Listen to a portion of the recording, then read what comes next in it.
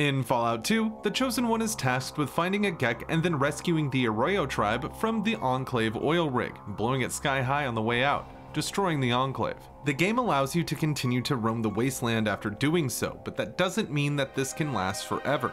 In fact, Fallout 2 has a hard-coded time limit whether you complete the main quest or not. After 13 in-game years, on July 25th, 2254, Fallout 2 will abruptly stop, no matter what the player is doing and it will show this in screen. Afterward, the player will be booted to the main menu. This was done due to coding restraints. At the time, the developers figured it was such a long time frame that no one would hit it unless they tried. Regardless, the Chosen One's journey must come to an end, even if it's the rarest screen in the entire game. Please assume the position.